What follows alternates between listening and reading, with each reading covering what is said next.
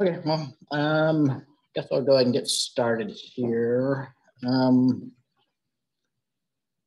so before I get started uh, properly, let me um, just uh, kind of take uh, uh, kind of status of where we're at here. So we've got this week and next week. Um, so we're going to be looking at just two more uh, chapters, two more units of our textbook. Um, so, I mean, as usual, I'll talk about the um, assignment that we just completed, and then we'll look at the uh, the um, unit here that we're working on this week. Um, so we've got um, what this is like chapter 16 on um, processor structure and front function that we're looking at here. And then we'll look at the reduced instruction set next week um, um, to, to wrap up things. So, um, and then we're going to have our second test um, during finals week. It'll be pretty much the similar format to the um, first test. Um, I mean, in theory, it is comprehensive, but it's mostly going to be um, over the materials since test one. So probably it's going to be questions like uh, yeah, maybe something on digital digital logic or on um, you know Boolean expressions or something like that from that problem set would be some good kinds of questions, or maybe computer arithmetic. So you know the format, floating point format, or um, the uh, the Booth algorithm for multiplication, maybe, or things like that. Um, so you know basically looking at a good thing to review would be to look at the problem sets especially the ones that we had since test one when you start thinking about test two so. And so would, would it also include like assembly language and the like? Yeah so, so right and, and including the stuff that we did uh, last week and this week and next week so. I don't know if there'll be a question on assembly language that was a pretty small chapter but uh, but yeah um, but um, but yeah, for this uh, this week, um, pipelining questions of what we'll talk a little bit about here in a second might might make good questions on the test or similar things uh, similar things to the problem set questions that we've got this week would definitely be good to review. So. And uh, did you specify again uh, when the final would be like final week would uh, span uh, several days? Would it be? Yeah, I, I'd, I'll open it up the same like we did for the first test. So um, uh, let me see here. And uh, the only reason I ask is uh, because I, I, plan on traveling abroad next uh, next week.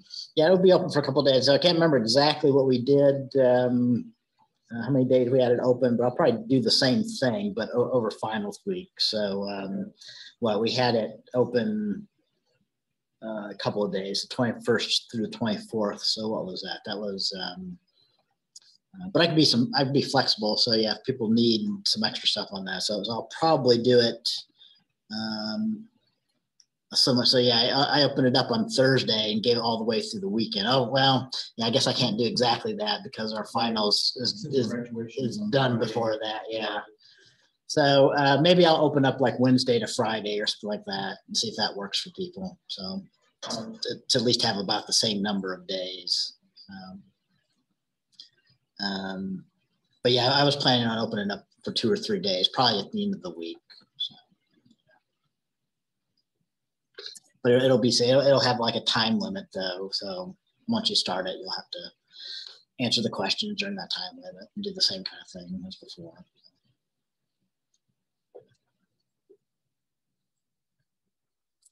Um, I'll try and talk more about that uh, next week during our last help session too. So I haven't, haven't made up the questions yet, but um, um, I'll set it. Uh, I'll set the date specifically before then, and, um, and maybe we'll talk more about it um, next Wednesday as well. Um, all right, yeah. So, but yeah, that's coming up. Um,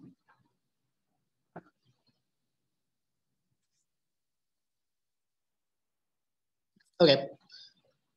So, uh, like I said in the announcement, um, um, I think I, I mean I, will go over the problem set 11 here, but probably won't spend too much time on this um, because most people had didn't have really any problems with this, I think. Um, so I mean, if there's questions on this, uh, you guys can ask it. Um, so there's an example solution posted on this. Uh, I, a few people did get the first question wrong, only, but it was only like two or three at most. Um,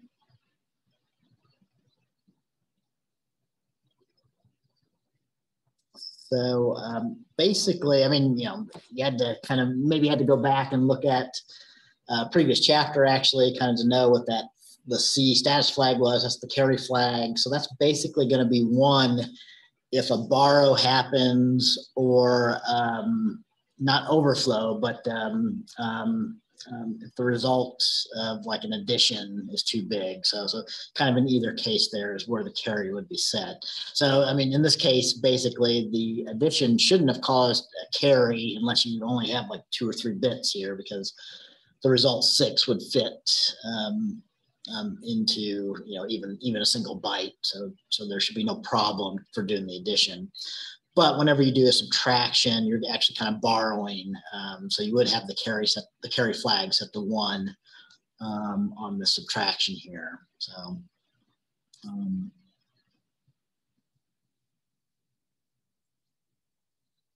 so likewise for two, oh, well, I did um, again, there's only three or four, I think, people, maybe a few more, but um, um, a couple people on, on two, a couple students were only really describing what the, the, the Z um, status flag and the, um, the um, sign flag and the overflow flag were, but then weren't really addressing the actual problem. So you got a point or two off if you were kind of in that camp on this one. So, I mean, th this was pretty similar to a question on the previous problem set or, or, or, the one before the previous one. So about the same idea. So really on this one, I was looking for, you know, the compare instruction works by subtracting these. Um, and if you're subtracting a signed integer, um, um, so kind of in the question description, it was given that um, for, for, the greater than, um, you're going to end up with the sign and the overflow being equal um, when you do this subtraction. So for less than, you're going to end up with those being unequal, but you had to kind of just uh, at least give some description of why that is. So why that is, um, um, um we, we talked about this in a similar way um, uh, on a previous problem set.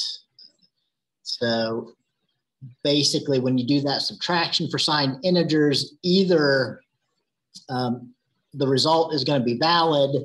So for if it's less than, uh, you're going to ex expect that the result is negative. So you're going to get a sign of one. Um, and you know if, if the subtraction is still going to fit um, uh, the overflow won't occur. But you can also have values where if you do a subtraction, the, the result won't fit in the original size, however many bits you have for the subtraction. So in that case, um, overflow will occur. So o, o, the O flag, O status register will be one, but the result because of the overflow will look like it's not negative, even though um, it should be, uh, the, the, the actual value is negative but um, um, you don't get a negative result. So, so in both cases, you end up with the sign flag not being equal to the overflow um, flag. So.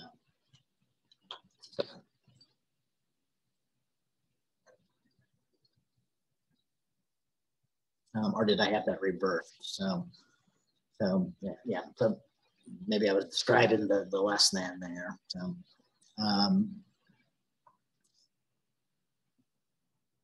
But uh, but yeah, reading back over this, I guess for less than, you should get those that they're not equal.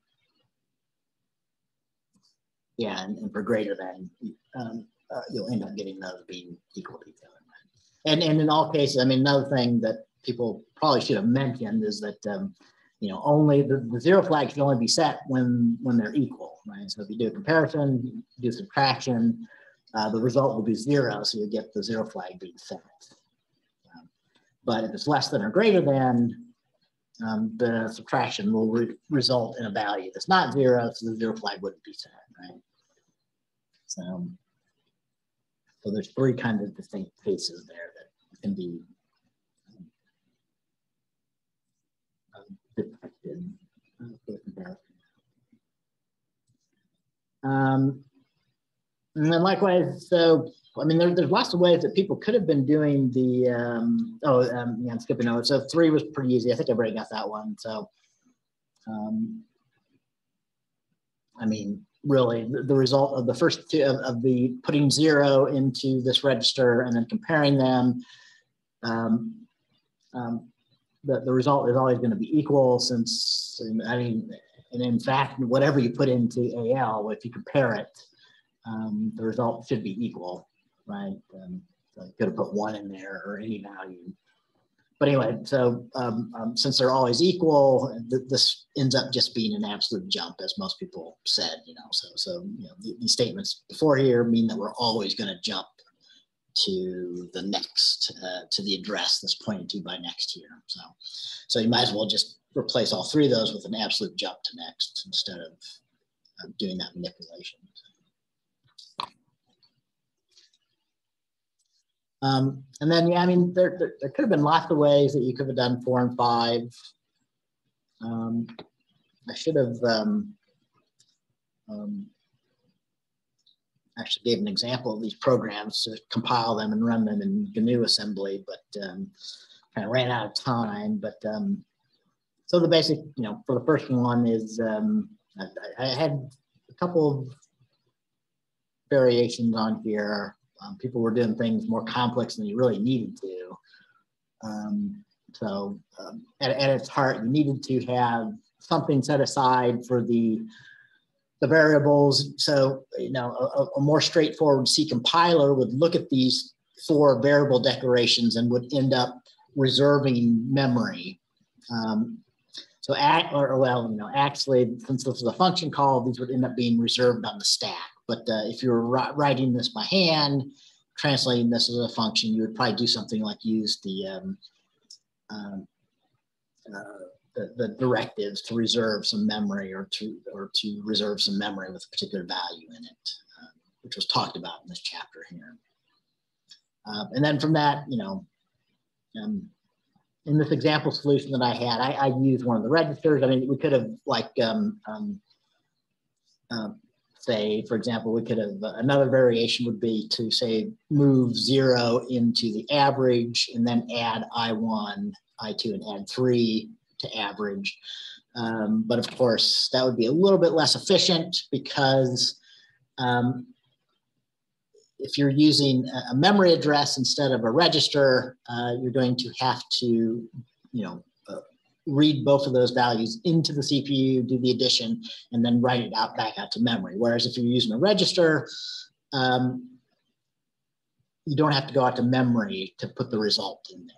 So, so uh, doing adds um, into registers is going to be a bit more efficient than doing uh, adds, where the the target, you know, the the um, the result operand goes back out into memory somewhere, you know, like back out to average or whatever temporary location where you were using to add up these three values. So.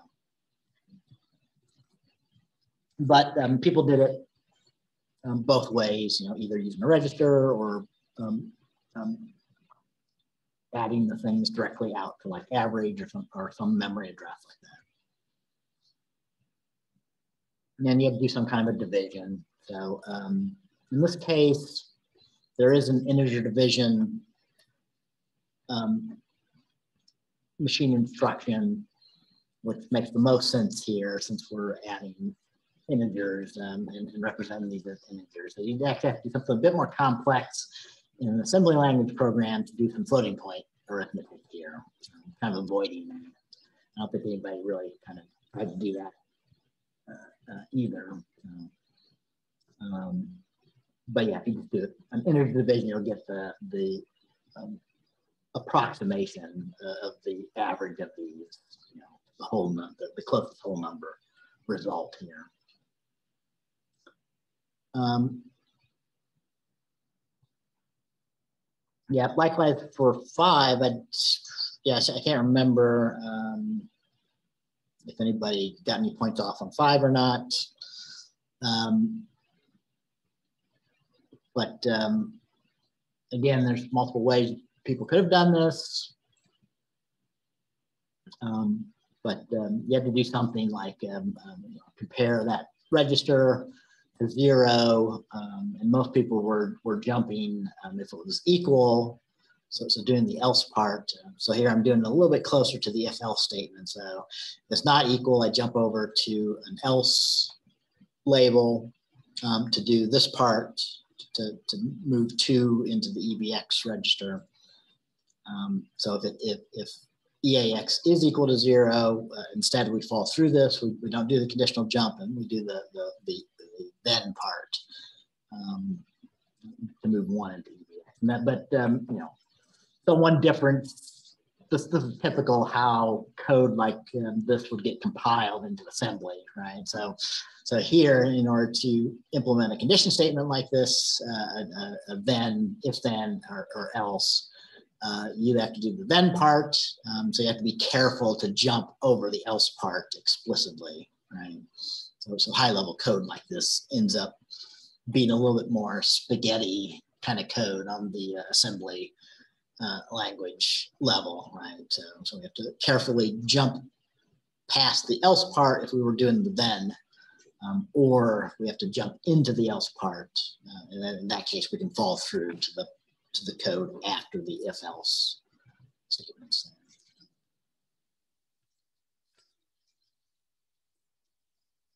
Um, all right, yeah, like I said, I didn't really have a lot to say about that problem set. Um, uh, if anybody questions about those, let me know.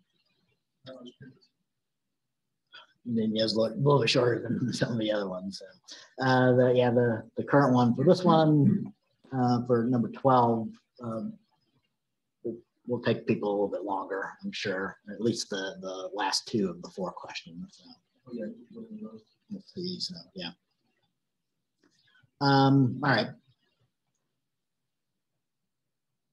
Uh, yeah, so let's just move right into, um, I, I, think I'll start by kind of maybe talking about a few things that will lead up to, then we can talk about the, the questions for the, uh, uh, the 12th problem set. So yeah, I don't know if I'll go too long tonight here. We'll see. I'm still, um, yeah, I hope you guys all got a little bit of a break, uh, um, uh, Thanksgiving here. So, um, I'm still, um, kind of getting back into things here for the last two, three weeks here, so personally. Yeah, the week after coming back from Thanksgiving. Yeah. They could just, I don't know, maybe start the semester earlier, so after Thanksgiving, you know, so. yeah, it's not a great, not a great period for a break with just uh, one or two more weeks to do so. Um, all right, so um, yeah, before I talk about these, let, let me, um, I'll, probably skip over the section one and two um, for our chapter here on um, on um, processor organization here. So, uh, uh, so you know, maybe I should mention it. So we are kind of starting the fifth sort of section of our textbook here. Although um, I ended up, we're not going to go through all these chapters on here. We're just going to go over the first two chapters of the uh, uh, of the the materials about the central processing unit. If you get a chance, I mean the um, um, the, the chapter 18 is a good one too. You know, I mean, at least read a little bit about the superscalar processing uh, if you can while you're taking this, you know, uh, wrapping up this course. So um, there's lots of um, uh, things that are kind of good to know about um, uh, that stuff. But but we'll just look at this chap chapter 16 and then the talk a little bit about RISC um, instruction sets uh, next week. So. Um, so, you know, I did want to mention a couple of things like about the, um, uh, the instruction cycle. Um, so, you know, all the way back at the beginning of the course, we talked a little bit about the basic um, instruction cycle for a processor, right? So the, the idea of, you know, so CPUs are very mechanical, right? So, so you know, we, we just do, we fetch the next instruction and we execute it. And we just keep doing that over and over, right? Um, and there's some, there's certain um, um, conventions uh, that a process that the CPU follows, right? So by convention, uh, uh, we execute instructions sequentially. So every time we fetch an instruction, uh, we have some register that the, the program counter, which tells us the next instruction, lo location of the next instruction to fetch that we're going to execute.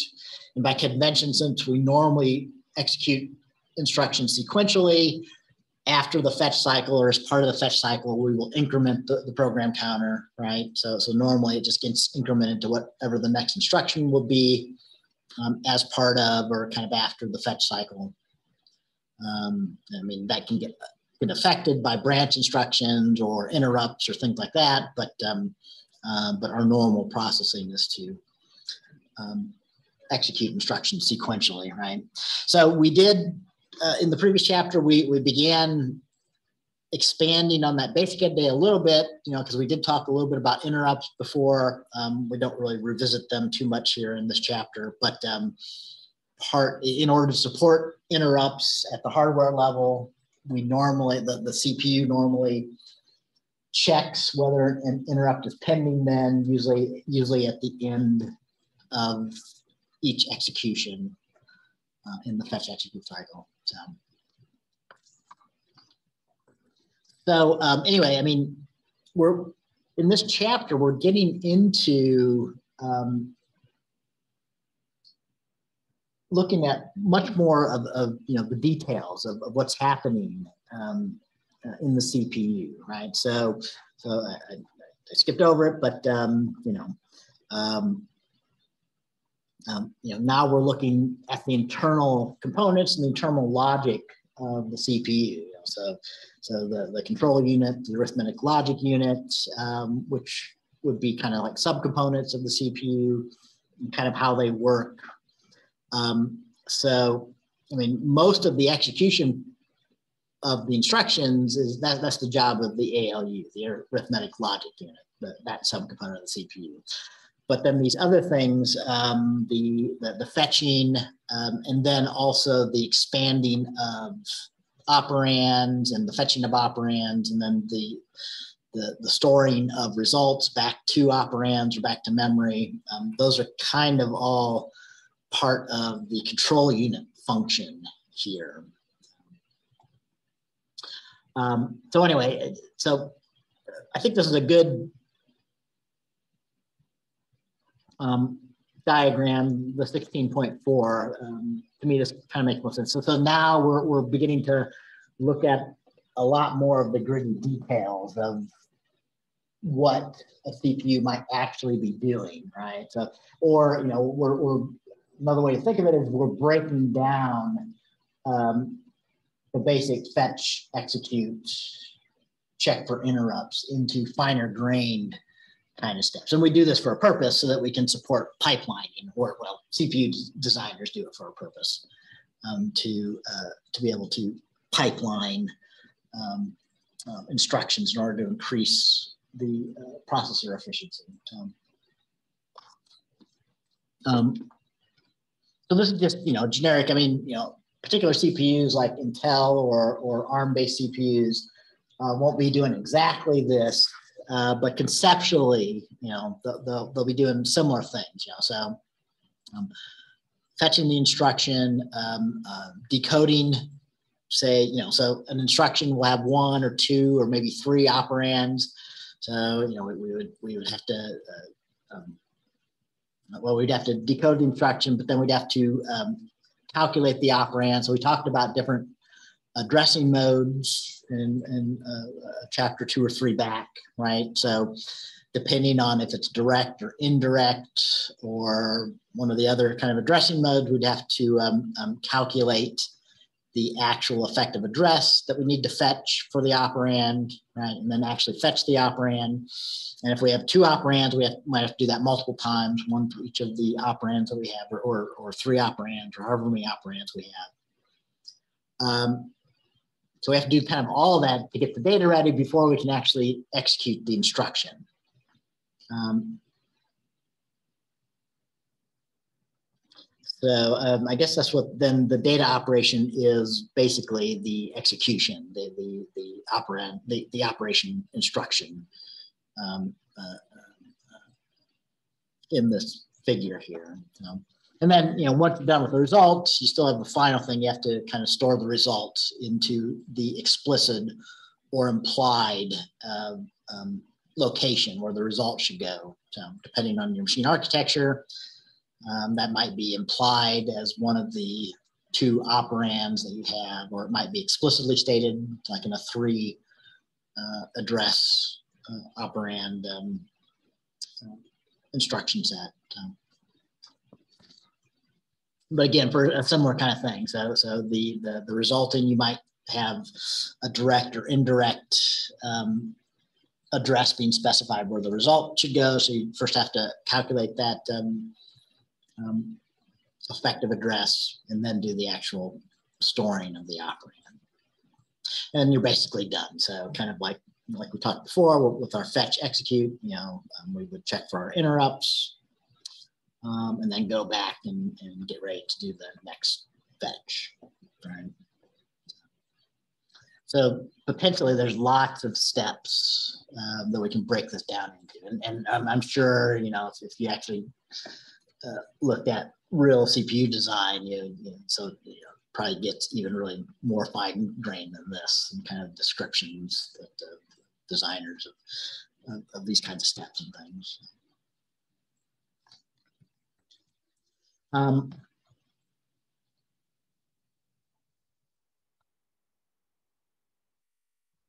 so most most of the questions really kind of um, on the this problem set are about instruction pipelining and then also about calculating um, the uh, the speed up that you get, right? So I'll spend most of my time talking about that here um, today. So most modern CPUs make use of pipelining. Um, um, it's a performance enhancing, you know, uh, design mechanism. Um, you know, we, have talked about some others, you know, so, so there's, there's lots of strategies that, that CPU designers use in order to increase performance. So, um, you know, um, um, adding cache uh, in order to decrease the, the, the memory bottleneck. Um, and um, we've talked about some others. So, so, so this is another one. Um, the basic insight for pipelining is that um, um, the, the, the, these steps that we break the, uh, you know, the, the, the, fetch and execute of an instruction down to can take many CPU cycles, right? So, so typically um, on, um, an Intel or, or, an ARM CPU, and uh, the instruction is not going to be able to execute all of these parts in one clock cycle, right? So, so uh, it's going to take multiple clock cycles, and and and typically, you know, these are broken down so that uh, each one of these steps um, um, can be done within one clock cycle. Um, you know, but being a little bit simplistic, but but that that's kind of um, what happens here, right? So, but that means then a typical instruction would take multiple clock cycles. And so if, if each instruction we had to, to, to do all the steps for the instruction before we could do the next instruction, um, that, that would mean that um, um, um every instruction, you know, um, uh, uh, would take uh, multiple clock cycles to complete, right? So, so pipelining is really just a it's a it's a parallel it's a way to parallelize things right so what we're also doing for, for pipelining is we're executing multiple of those different stages of instruction execution in parallel, right? So the insight, and like they say here, I mean, I, I basically think of pipeline just as, uh, you know, it's basically like an assembly line, right? Um, so the analogy is, is a good thing to keep in mind. So, if you're seeing that concept in manufacturing, we're kind of doing the same thing um, um, to pipeline instruction, right? So instead of waiting for instruction to to be fetched, to go through all those cycles to write out the result before we can start the next instruction. In parallel, while one instruction, you know, um, is being decoded, uh, we might be fetching the next instruction, right, and so on, right. Um,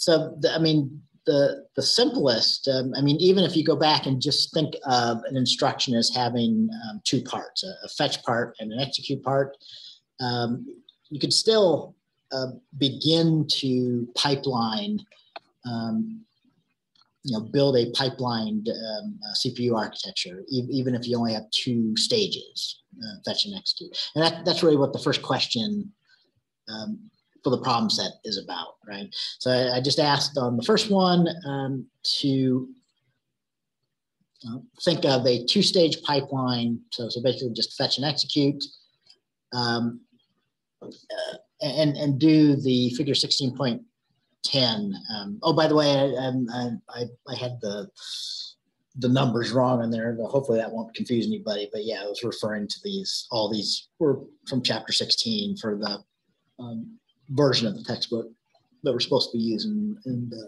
the class this semester. Yeah, so uh, those were fixed, but I'm sure a lot of people downloaded it where it said 14. But yeah, I meant 16 for those. Anybody's watching this after the fact. Um, so yeah, for, for this first one, I'm just kind of really looking for the same kind of diagram, but um, where we where you know just draw it out for two instructions or for, for four instructions with two cycles, just a basic fetch and execute. So the first one should be relatively simple for most people, I think. Um, but the point, of, you know, before I kind of go on for this, you know, what this illustrates is um, if we ignore kind of all the complications, you know, so this is kind of in a perfect world. Um, if if pipelines always were able to execute everything uh, in parallel, um, all stages of the um, the, the um, instruction execution could, could be successfully executed in parallel, you would get a speed up like this, right? So, you know, these nine instructions, uh, each one of these are supposed to be represented, but each stage of the uh, instruction execution takes one clock cycle, right? So, so in theory, it takes six cycles to execute each instruction. Um, but um, um, to execute, so, so to execute these nine instructions, if we weren't doing any pipelining, if we weren't doing anything in parallel, would actually take a full 54, you know, six times nine um, instruction uh, clock cycles to execute all of these, right? So in, in theory, though, pipelining basically allows us, to, so even though individual instructions take multiple clock cycles, um, if, if everything is being pipelined perfectly, uh, we, we're effectively able to almost execute one instruction every clock cycle with a good pipeline like this, right? With the caveat that uh, we have to kind of feed the, the pipeline initially. So, so there's a, um, um, a formula later on, but as you can see, so for nine instructions, it actually takes 14 cycles total, right? So, so it's really about nine cycles plus um, uh, it's actually the, the number of cycles minus one that you have to add on to that is kind of overhead, right? So, so it's nine plus six minus one, so nine plus five or 14 cycle. Um,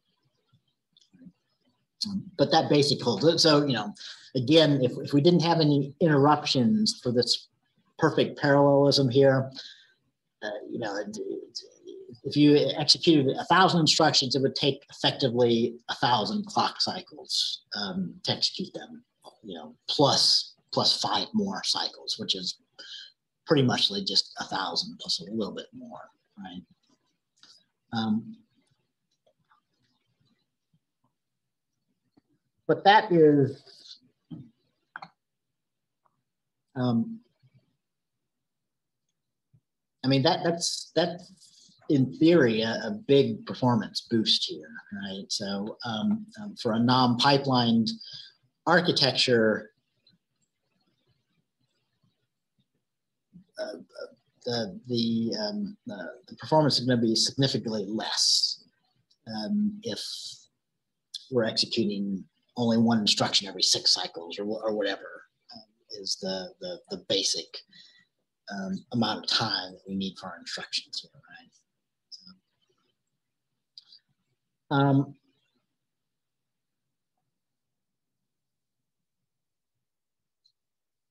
so question two then, and, and kind of after that here, um, in our textbook though, is that, you know, this, this kind of ideal um, parallel execution um, in, in, in practice, uh, you'll never get um, uh, things to work out like this, at least not for an extended amount of time. Okay, so, so there's lots of reasons why um, um, you're not going to always be able to execute all these stages uh, in parallel here. And, and, that's kind of what most of the rest of the, the textbook talks about um, after this part in uh, section four here in chapter 16 is, is all the ways that um, um, this kind of breaks down. Right.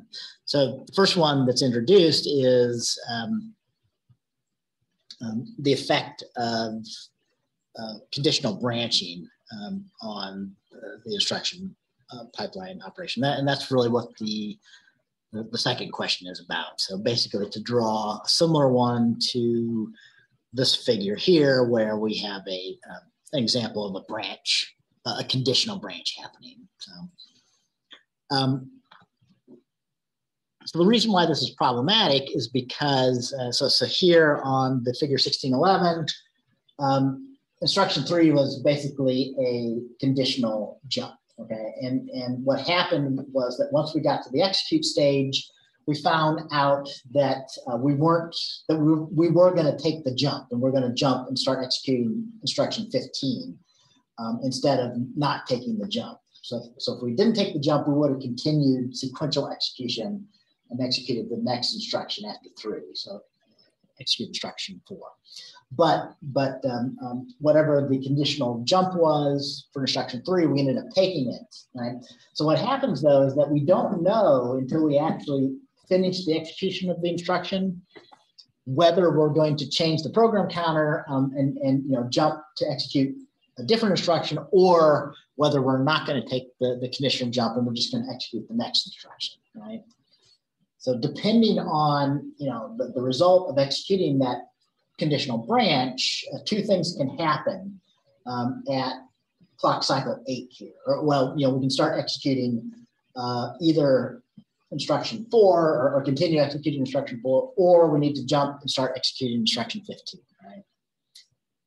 So um, as the textbook discusses, um, I mean, there's there's nothing that you can do to get around this, right? So so well, um, um, there there's complex things that that uh, modern CPUs do. They they try to maybe predict, you know, uh, uh, which branch might be taken um, and other things here. That, that's kind of discussed later on um, in this section here.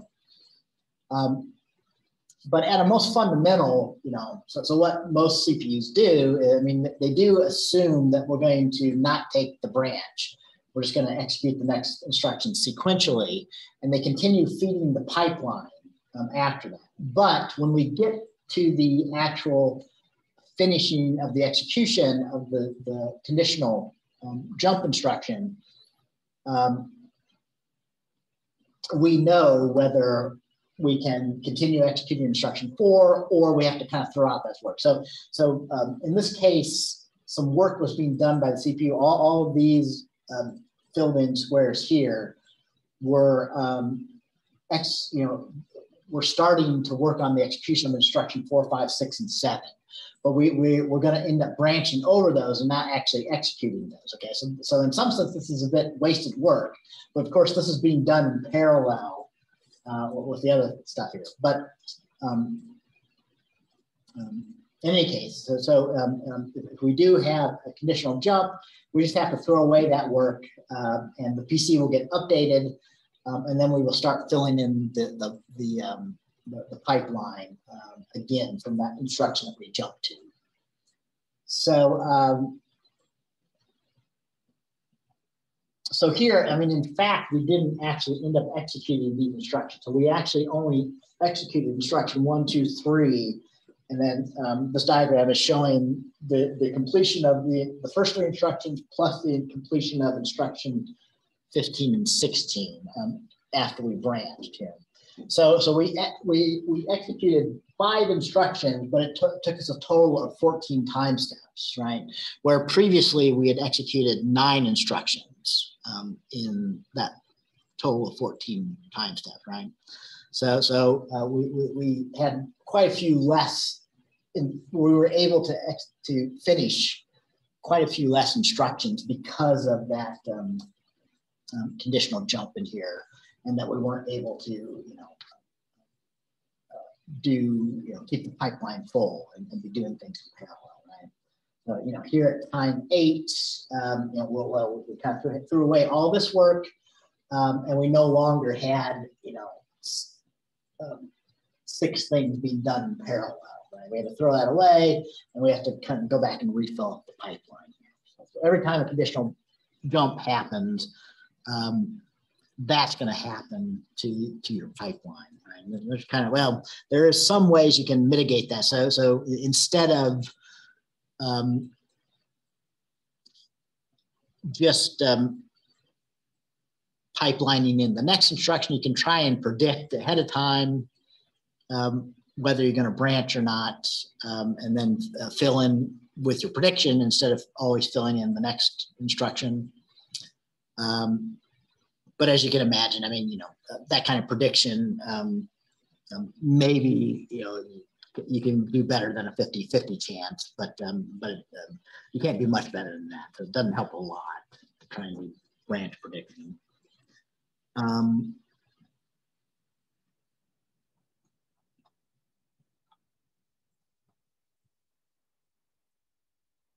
so yeah, I don't want to jump ahead and talk about it. There's some other things that talked about of, of some ways you can try and um, reduce that. So, but it, it, comes down to that um, um,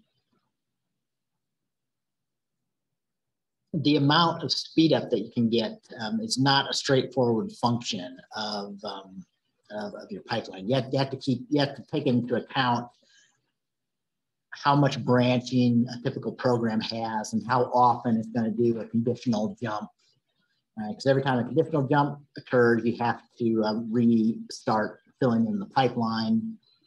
Right, so if you're doing too much conditional jumping, you, you kind of end up losing a lot of, if not all of the uh, benefits of this parallelizing the um, um, uh, uh, CPU execution of the different stages of, of your instructions. Um,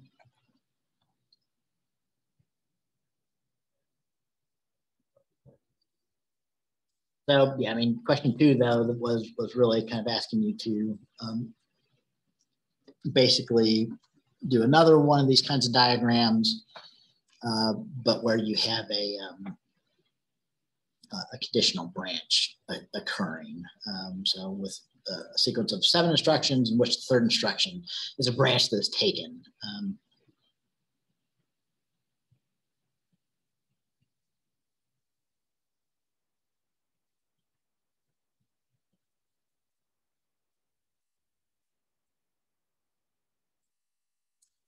Uh,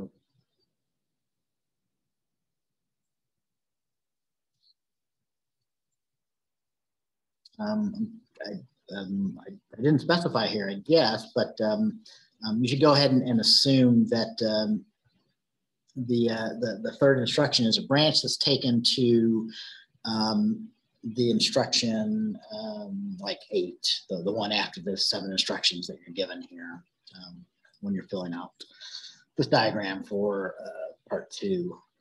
Um, I think that's what, what I was intending on that one. Um, so yeah, for those first few questions, you could have something similar to 16, 10, or 11. Or you could do it this way too. Um, um, so um, if that's easier for you to understand, but uh, either way, I think these are equivalent. This is just um, um, having time going this way um, and kind of emphasizing the, the different stages versus this one where you have time going from left to right and you're emphasizing um, the instructions um, and then the stages of each instruction.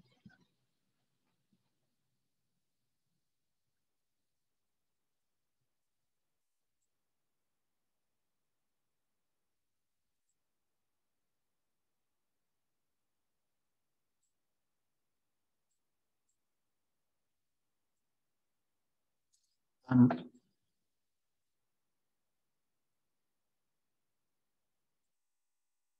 okay. So that was kind of the first few questions. Um, so let's talk about kind of the, the, the calculations for the speed up here um, a little bit. So, so the last two are really mostly about um, um, the performance description um, that's talked about um, uh, still in the, the section four here, um, the textbook. So, um, really, um, although, again, as usual, my formatting on my my electronic version of my textbook is a little bit messed up. Let me get my notes here real quick.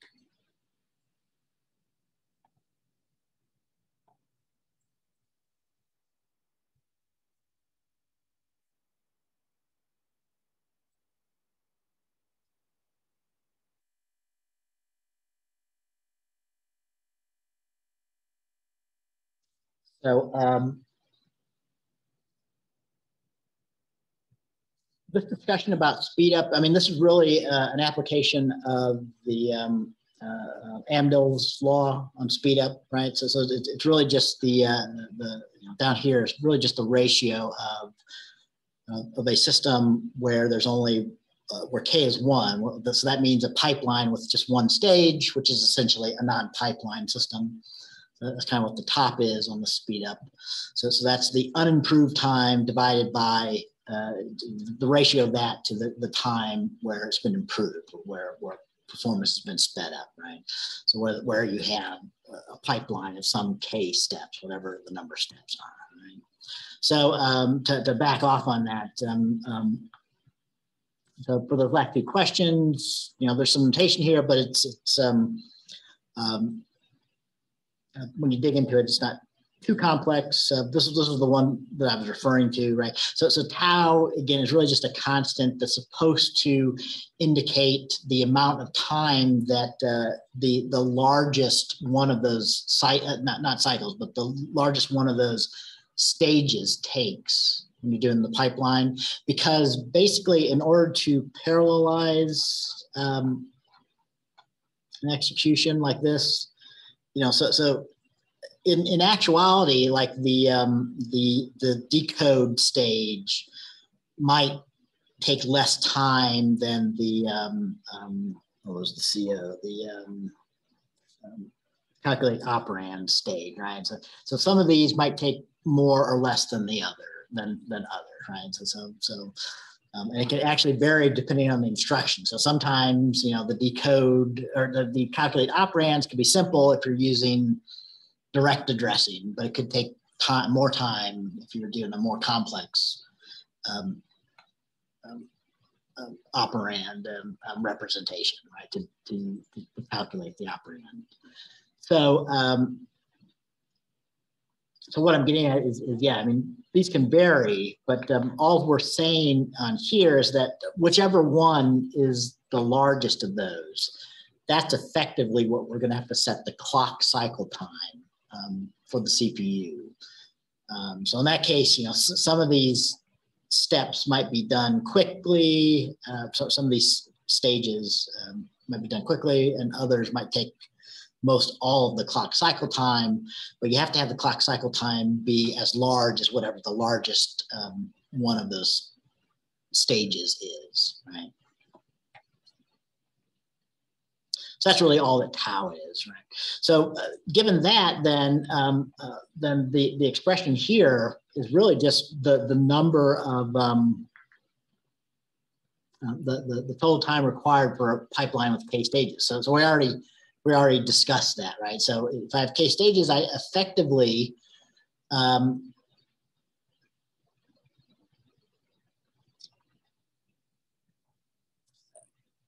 and, and n is the number of instructions that we have here. Um,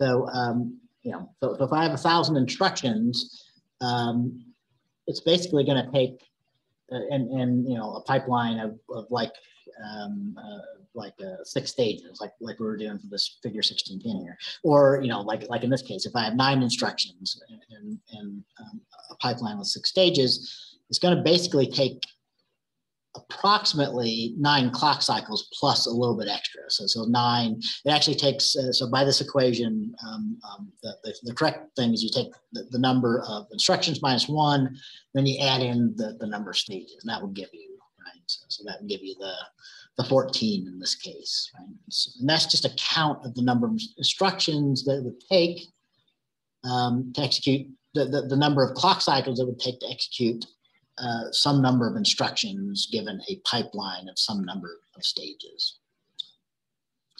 Um, and again, that assumes that we have perfect uh, execution of the pipeline, so the pipeline doesn't get interrupted.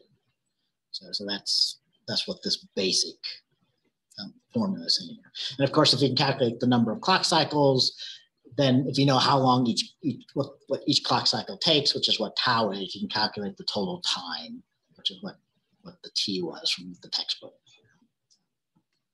But anyway, you know, so so uh, uh, uh, if you compare that time to the time when you don't have a pipeline, or you can think of that as having a pipeline with just a single stage, which is effectively no pipeline. That that gives you an expression for the speed up um, that you can expect, um, you know, for some number of instructions for a pipeline of some number of stages. K is the, the number of stages in the pipeline. Um,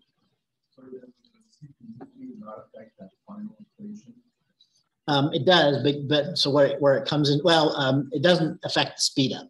Yeah, so so it wouldn't because uh, we're we're assuming that both the the um, um, in this particular formula here, we're, we're assuming that both the um, um, pipeline with one stage or the pipeline with k stages um, is being done on a CPU with the same um, um, speed, basically. Right? So so yeah, I mean, if you're comparing CPUs. Uh, different CPUs, um, um, you would have to keep that tau in there because your tau might be different uh, on, on your one CPU versus the other. So, yeah.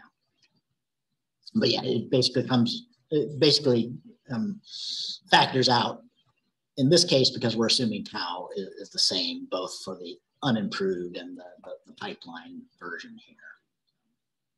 So if that's not the case, you would have to keep that in there. Um,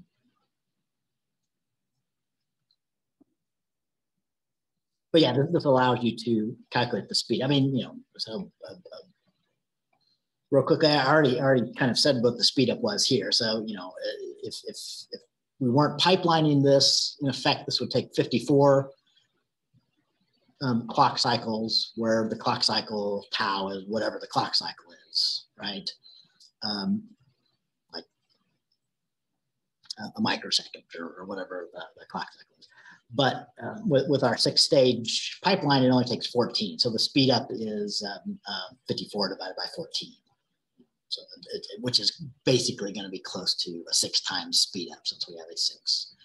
Um, you know, so if it was if it was 54 divided by nine, you know, so if it only took nine clock cycles, we have exactly a six times speed up, right? Does that, that make sense? So I mean, it's kind of kind of a subtle thing, but it's important. Right? So so for the the the, um, the, the nine instructions here, we get we get a speed up unimproved would be 54 by 14. Right? But if we had like a thousand instructions, um, uh, this is just the nine but in a thousand instructions, um, effectively, of course, the top would be a thousand times six, and that would take six thousand clock cycles times tau, whatever the, the time is. Then the bottom though would, would effectively take a thousand minus one plus six. Um, That's, uh, and then, uh, 1,005, right? But that's effectively, you know, the, the, the larger the number of instructions where, where you don't get the pipeline interrupted, the closer you get to the theoretical speed up. So theoretical speed up is gonna be, if I have a, a- a pipeline of six steps, it's six times faster. right? Because, because again, effectively, if we don't have a pipeline, um, it takes six clock cycles to execute every instruction, but with a pipeline, um, as long as the pipeline can keep going, we're gonna approach executing one instruction every cycle instead of one instruction every six cycles. So That's why we get six times speed.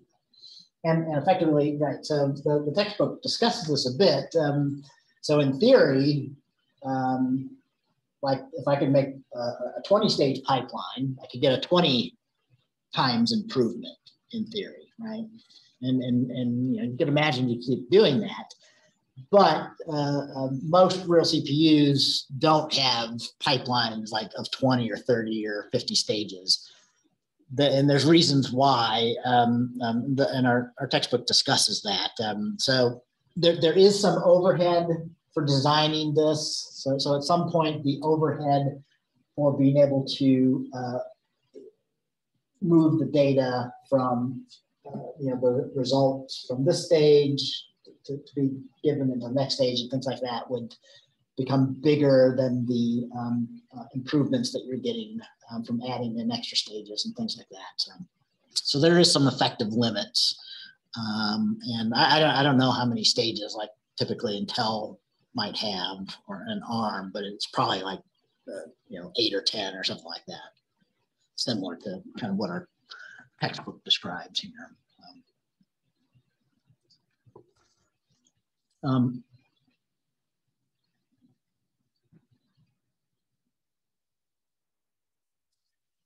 So anyway, that um, really, I think is what you mostly need for the question three. Um, so in that one, you're given information like the number of stages is five. Um,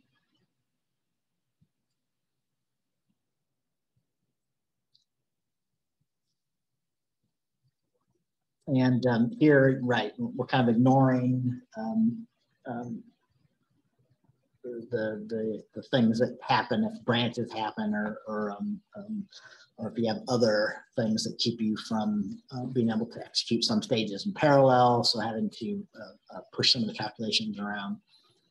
Um, so the first one was kind of the thing that I was just talking about, um, just calculating the, uh, the speed up um, compared to a non-pipeline processor. Um, oh, but yeah, so, so, this one is different because the, the pipeline processor um, has a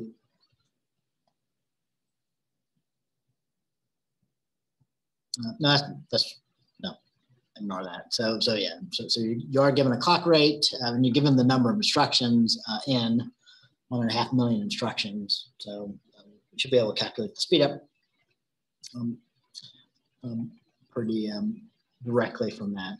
And then the, the, the through, throughputs in instructions per second, um, uh, then you would have to go back and use the, the clock rate for that. So um, in that case, you know, you, you should effectively be able to get one instruction per cycle, um, which should lead you to be able to figure out what the, um, uh, the throughput is um, on this one.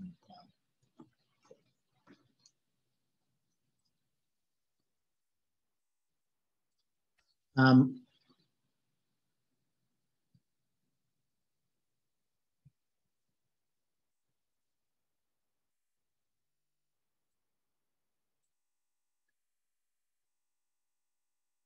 and then um, for the fourth question, um, so, we throw in um, um, the wrinkle that they, yeah, in this one, kind of like we were talking about, um, we are comparing two different CPUs now that have um, slightly different clock speeds and things. So, so you will have to take those into account, right? So we, we've got um, a, a, processor that's um, not pipeline that has a particular clock rate. Um, and that would, would, tell you uh, how many, on average, um, how many cycles it takes for each instruction to execute. Um, but then we have another one um, that, that runs at a slightly reduced clock rate. Um,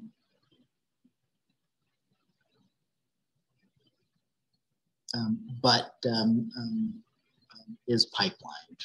so with five, uh, with a K set to five, so five stage pipeline here. Um, so in that case, um, you know, you'll want to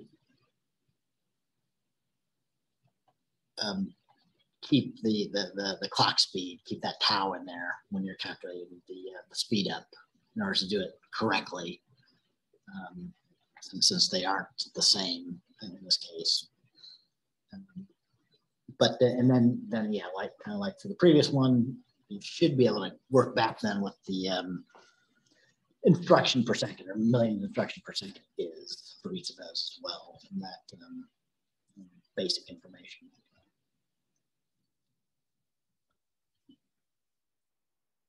Um, all right.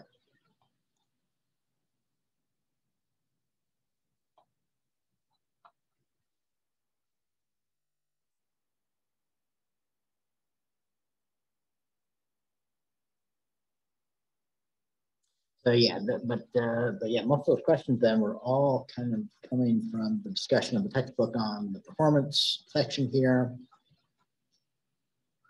Um,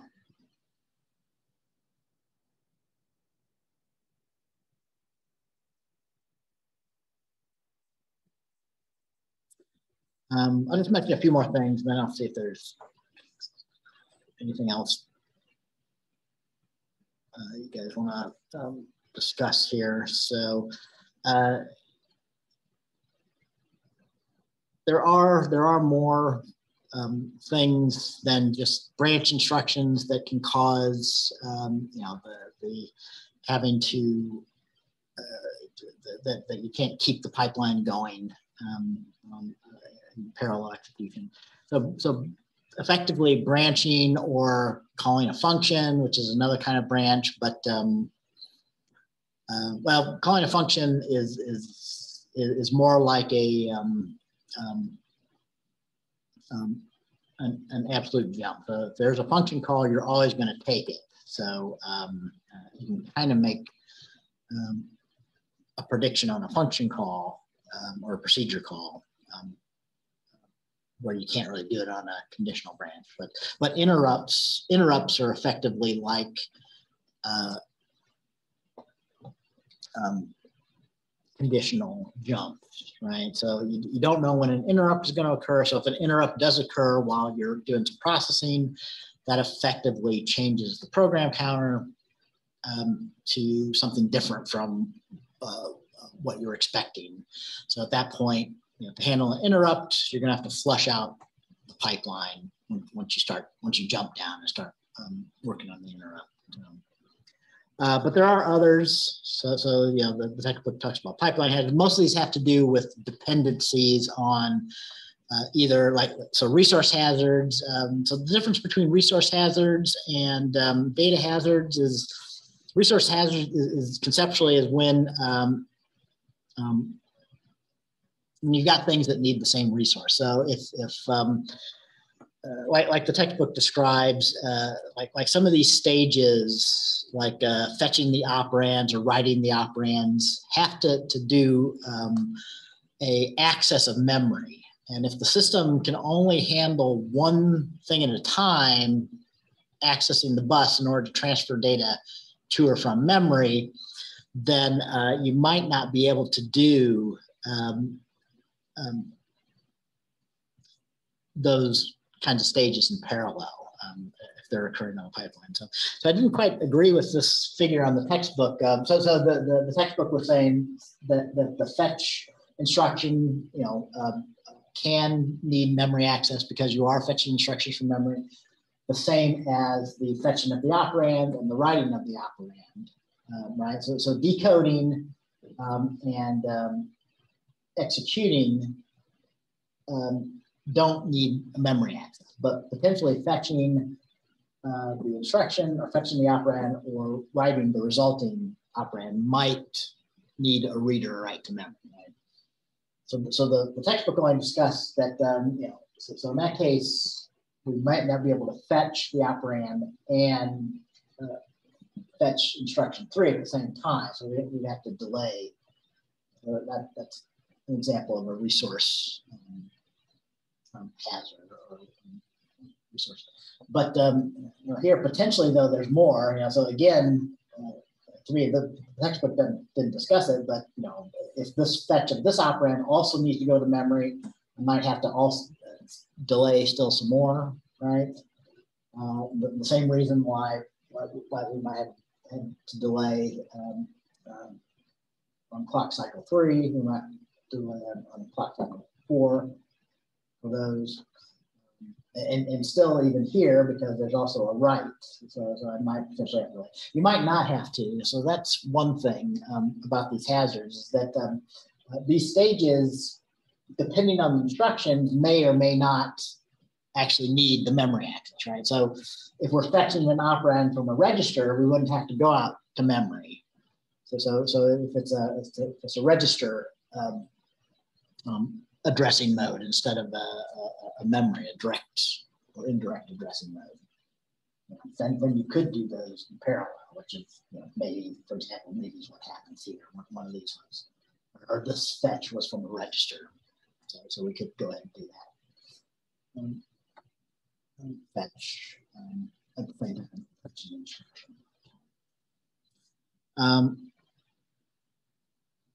but anyway, so, so, so that's kind of resources, but you can also have particular um, dependencies on data. So this was a good example. Um, you know, so this bit of code, um, we were adding two registers and putting the result into EAX into the A register, but then we're using register A again in a calculation, putting the result into C. So yeah, I mean, if you, if you looked at the, the cycles here, the problem being that um, um, you don't know the value of, of A until you're done completely executing this instruction here, right? So you really can't uh, fetch the value of A for the second instruction um, until we completed uh, the, the, the, the, adding and then the writing of that back out um, uh, the A there. So, you know, that's that's an example of, of a, a, data dependency or data hazard. Yeah, and as, as we had in our quiz, you know, there, you know, there, there's other kinds of things, but but this is this is kind of the more common. Let's say, um, I think that's an RAW, read after write. We, need to read this value back. We need to make certain that the read of the value um, doesn't happen until the write of that result finished from some other um, calculations being done in our pipeline here. Um,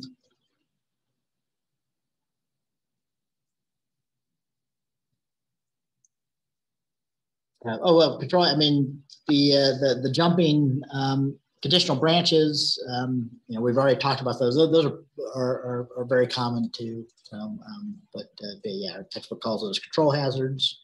So, and this, this is where um, our textbook talked a little bit about dealing with branches. So, um, yeah, so I don't know how common these are. You know, well, like I, am mostly familiar with like branch prediction, um, which you know um, has limitations. Um, like like another thing, you could try and actually um, have multiple streams. So you, so you could have one pipeline doing it as if the branch went one way and one pipeline doing it as if the branch went the other way, right? But of course, that, that starts to make your architecture real complex. Um, um, you have to have a lot of circuitry to, to be able to support multiple streams. And then, then of course, if you run across then a second branch instruction, um, you know, you can't, you can't start having, you know, you have to start creating more and more streams in order to handle more and more branches in parallel. So, um,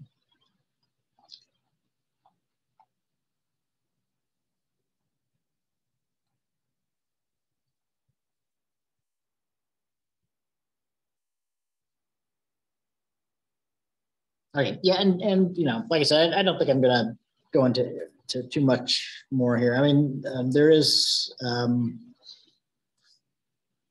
some examples of, of these things on the uh, Intel 86 and the ARM, um, which you definitely should uh, read through. So it talks about um, some of the organization of, um, of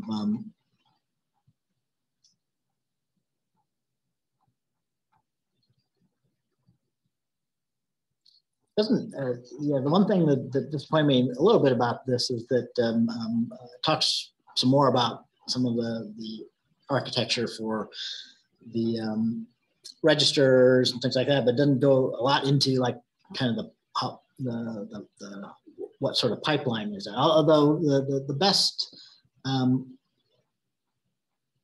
there is this, a little discussion about the uh, the, the 486 uh, pipelining, and 486 is a little bit of an older processor um, uh, in here, um, which is a good thing to go through, though, as, as you know, kind of an example of, of, of real sort of stages in, in a real processor. Um, that was given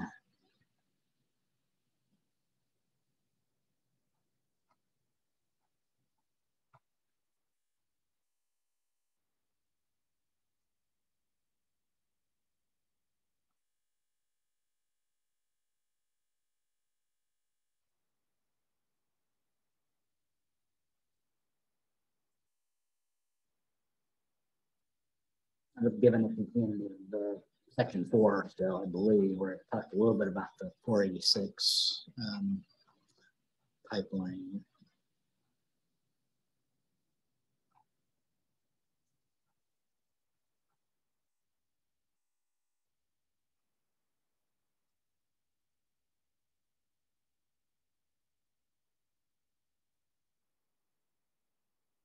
See at the moment.